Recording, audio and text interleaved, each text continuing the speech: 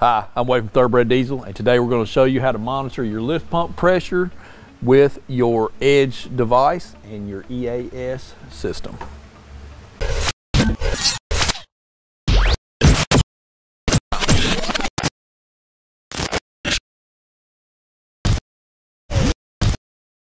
Monitoring lift pump pressures on your truck is a critical thing. So we have a lot of customers that will call us that have the Edge uh, system in their truck, and by Edge system I'm talking an Insight or a Juice with Attitude or a Evolution.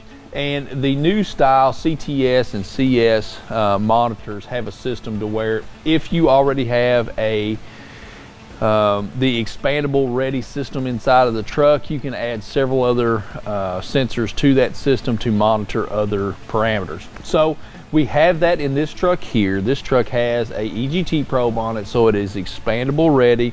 Make sure that you read the instructions with your edge product that you have to make sure that you have an expandable ready system to add another sensor but we have that with this truck today. And if you have it, that's what we're going to talk to you about. So we want to monitor lift pump pressure on this truck. Now, um, this is going to work whether you have your stock lift pump or an aftermarket lift pump. It just so happens this truck has an aftermarket lift pump on it. So tying in for the fuel pressure sensor on this is going to be simple and we're going to show you uh, a, a, a, way to do that to make it easier for you uh, to do so. This is, a, this is an easy install and it's it's a critical thing for you to watch. I, I feel like everybody now is is watching uh, in the common rails, or they're so critical about uh, watching uh, rail pressure, but monitoring your lift pump pressure is important as well into the entire uh, scope of what you're trying to figure out with your truck if you're trying to diagnose something or uh, working through some performance issues. So let's let's go ahead and get started with that. Now let's talk just a little bit about what you're going to need. So we have a lot of questions about this. With the pressure sensors that are offered from Edge, and I hope I grabbed the right box first, and I did not. This is the 98 part number 98607. This is the pressure sensor 0 to 100 uh, PSI. This will monitor. Now, this sensor is a wet or a dry sensor. So if you want to add another boost pressure sensor, this is going to be the kit for you for, for a dry application. If you're wanting to pick up lift pump pressure like we're going to do today, this is going to work as well. Wet or dry works for you. Now, when you buy the 98607, which is, or the, I'm sorry, the 98, yeah, 98607, which is a pressure sensor, you can't just buy that sensor. You have to have the 5 volt reference uh, ready kit. So this is part number 98605 and what this allows you to do is this is going to allow you to tie in the pressure sensor electronically into our daisy, daisy chain EAS system so it can be read by our or Evolution or Juice, juice monitor inside the cab of the truck. So just remember when you buy the pressure sensor you can't just buy the pressure sensor by itself you've got to buy the 98605 kit as well which gets you a 5 volt reference uh, input kit as well. This is also another critical piece if you want to do any other expansions. Um, this will add, let you have two more 5 volt sensor drops in this so you can add another pressure sensor or any other, uh, any other type of pressure sensor as long as on a 5 volt reference. So now that all that's out of the way, let's go ahead and get started with our installation. All right, let's talk about the setup here. We want to pull this out on the bench so you could just kind of concentrate on seeing what we've got. So we're going to show you what's in the universal sensor input 5 volt kit here. So what you're going to get in this kit is you're going to get your drop that will accept two 5 volt reference uh, sensor inputs. So uh, this could be a couple of uh, you know, pressure sensors or, or whatever, as long as it's 5 volt reference again. But you got to drop, it will accept two of them. All right. Also inside the kit, you're going to get wiring drops. This can be used for the sensor inputs as long as it's again a 5 volt reference. So if you've got to wire in your own sensor, you can do that with these. They include two of them inside the kit you're going to get an instruction uh, booklet that's going to talk to you about the different 5 volt sensors, how you wire them up, what the uh, what the polarities are going to be of that, so on and so forth. So that's going to be a really, really nice um, thing or very helpful for you is that instruction manual on this. So there's the drop for this. So I'm going to leave this out because I'm going to need this side of it.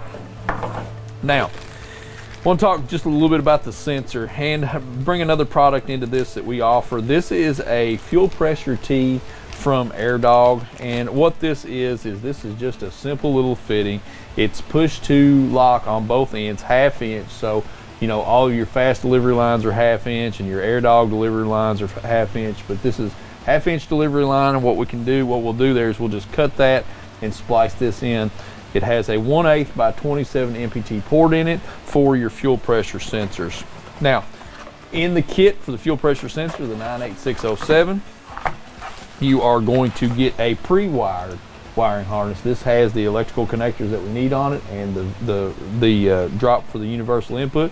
So we don't have to cut and splice anything. This is ready to go.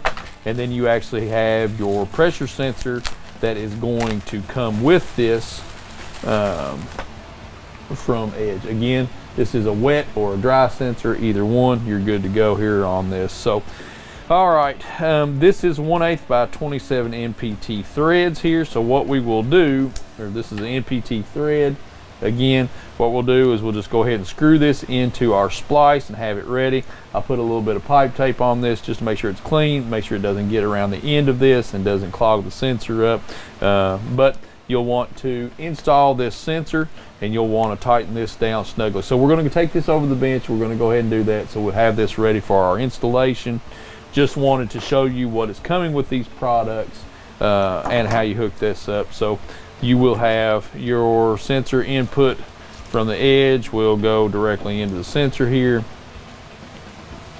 And then of course this end 205 volt drop.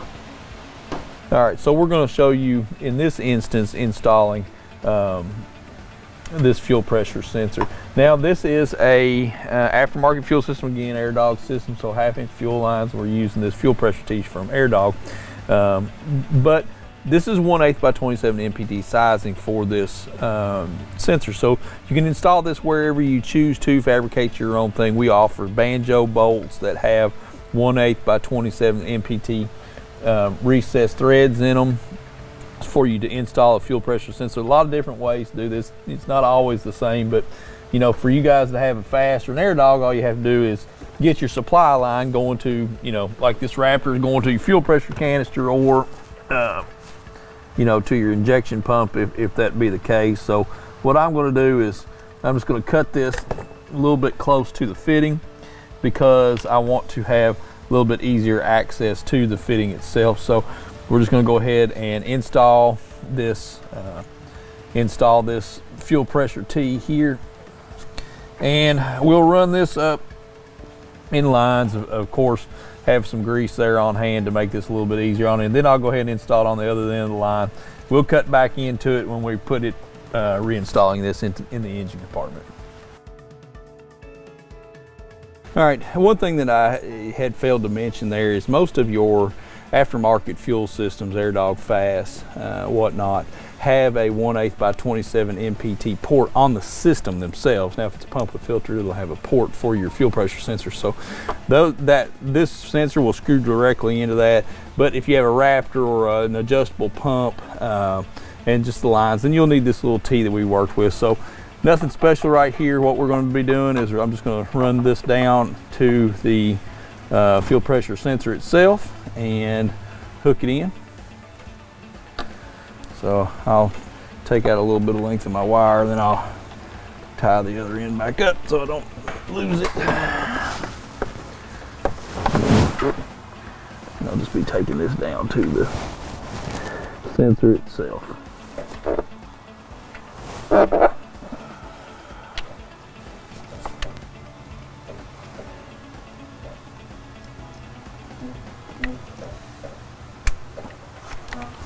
And then you're going to want your wiring to route back towards your expansion system. Next step is to hook our drop up to our fuel pressure sensor. What I've done is I've cleaned that up just a little bit and we're going to go ahead and plug it into the connection here for the drop, so it clicks. Now, you find your edge expandable system and you want to take your dust cap off of the end. It's not being used, but keep your dust cap because you're going to reinsert that. And we are going to turn this correctly in the system. Turn your locking collar till it accepts the next step. Then there you go. Then put your dust cap back on the other end.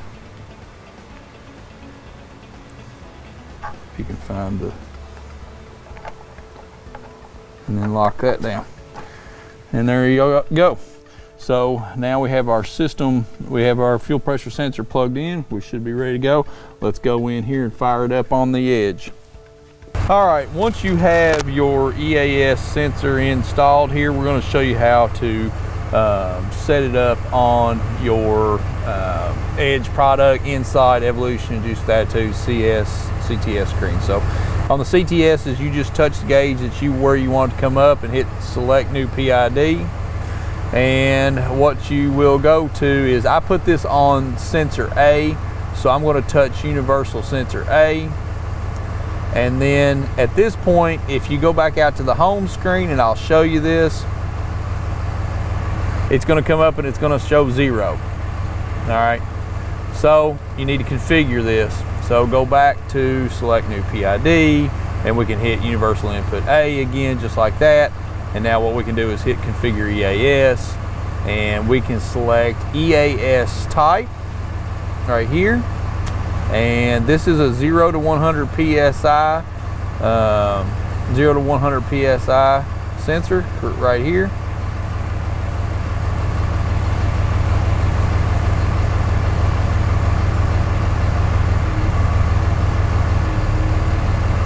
Device will reboot, come back up. This is an evolution. We haven't tuned this truck yet with it, so it might take just a second here. So through the magic of video, Jim can fast forward us through. All right, so now you see we have it up in PSI now. So 13.3 PSI lift pump pressure. Everything working just fine there. So we can rename this gauge now, and that's what we'll do. We'll go to select new PID because I've got this here. Actually, you know what? I thought it would let me, yeah, it will. Do it, configure EAS. I want to rename this gauge, apologize. We'll just call it lift pump.